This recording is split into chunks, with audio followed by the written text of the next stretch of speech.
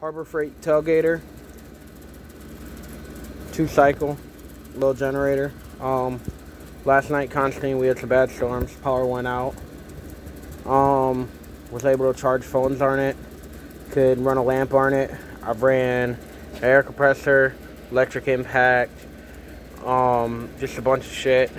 Thing is really handy. Ran out of gas last night. Um, original spark plug in it. Probably got about maybe 20 hours on it. So far, everything's running good.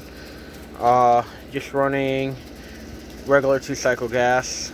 Um, a 50 to 1 mixture. So, yeah. Harbor Freight Tailgater. Get yourself one. They're handy. Take them camping.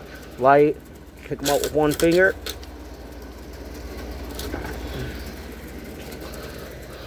Just didn't want to drop it.